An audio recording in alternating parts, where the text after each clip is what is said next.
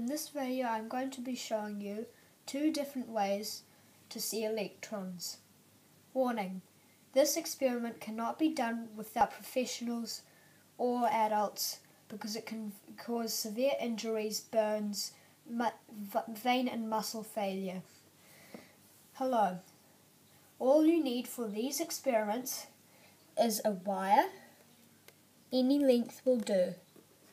Well, it needs to be slightly long so it can actually reach the two different ends of the ba battery, which should be an AA battery.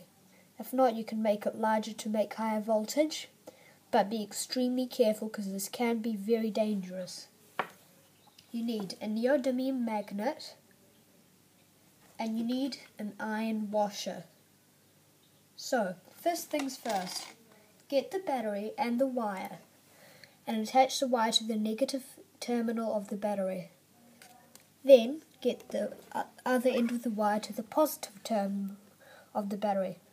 If you scrape it enough, you can see some small sparks.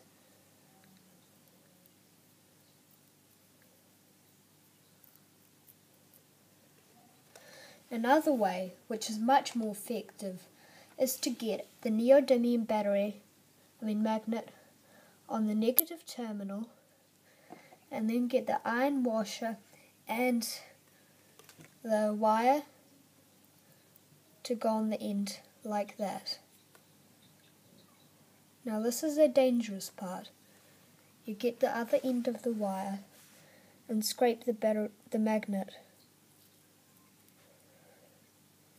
As you can see, there are very large sparks and this nearly once I did this and it the sparks nearly hit me.